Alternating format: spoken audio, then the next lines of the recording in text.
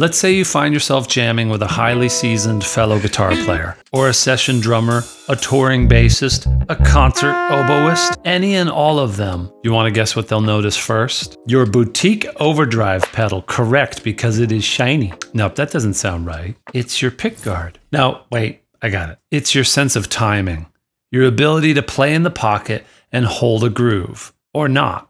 So let's talk about it. First, let's dive on in with a rhythm warm up. I'm about to start a drum loop that plays for a while, then drops out to silence randomly. My job, our job, is simple. We just got to be able to count to four. Sorry, alien. Huh. Let's warm up together, and you can do this part without a guitar.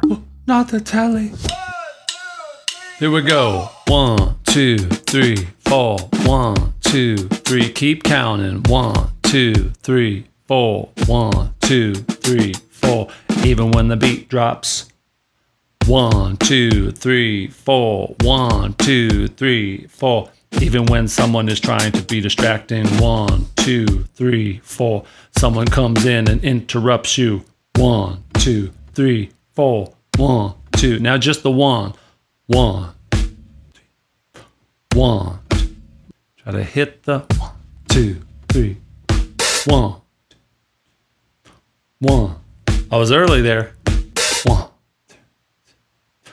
one, two, three, four. It's getting harder. Two, three, one, two, three. Big silence. One, two, three. Pretty good. One, two.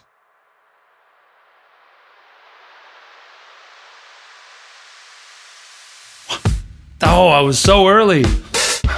Okay. All right.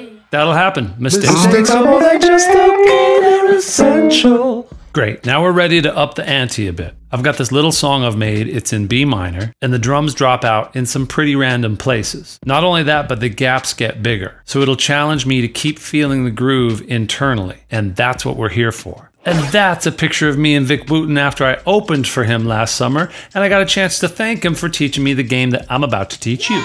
This song has two sections, and here's an overview of the guitar parts.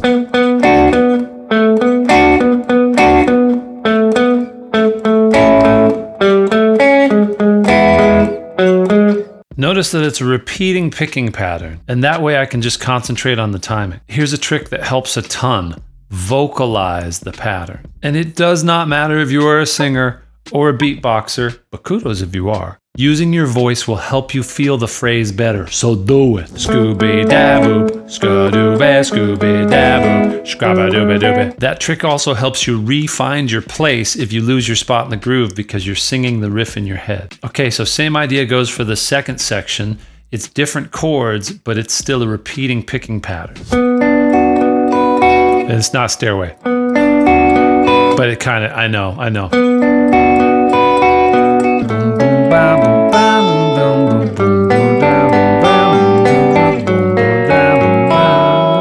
Keep that puppy as steady as can be. Oh, and if you could give the like button a little Jimmy chord, it really helps the channel. Thank you. You ready? Let's do this.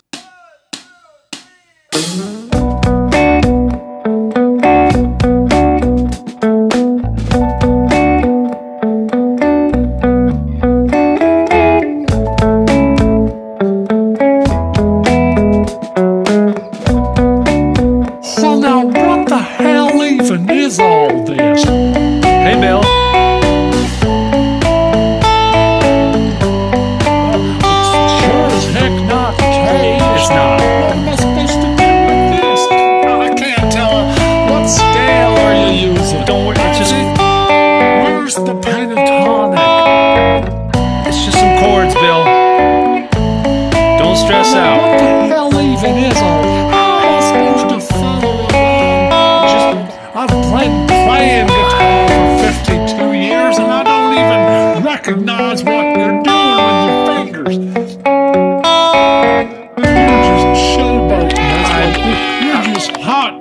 Dogging is what this I'm is. totally not hot dogging. Boomer Bill, how the heck are you? Well, I'd be a hell of a lot better if you showed me some good old pentatonic A minor. Instead, you got me lost, digging around in the dark, like, like. Like A minor? Oh, you trying to get smart with me, young blood? Bill, relax, and I'm not young. I think you are ready for this. It's super fun, and you just got to play by feel. See, I play by feel, but this, this is more like, like music.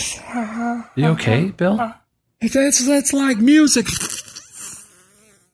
Oh, music theory.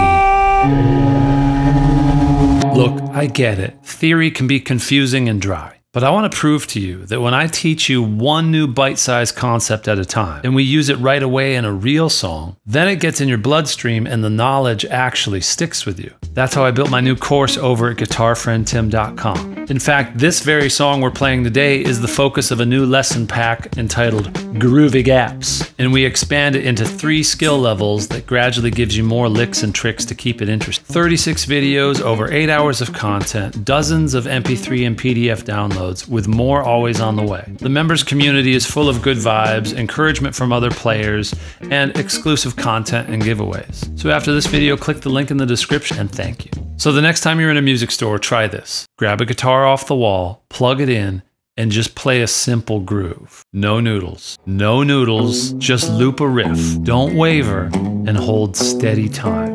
I'm willing to bet it'll have a different effect on the people around you. And with that groove in your heart, something magical might just happen. Hey, that's a pretty cool pickguard. Oh, thanks, I Bill. met David Gilmour once. Pink Floyd. That's neat. It was in the Orlando airport by the Sonora. He was cool. I bet he was, Bill. I bet he was.